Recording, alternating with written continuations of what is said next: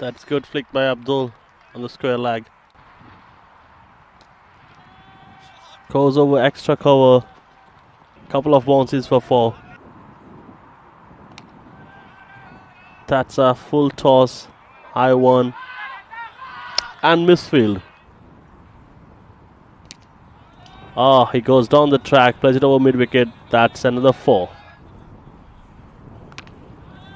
Oh, whacks it over mid wicket. No fielder uh, for another boundary. Again whacks it over mid wicket for another boundary.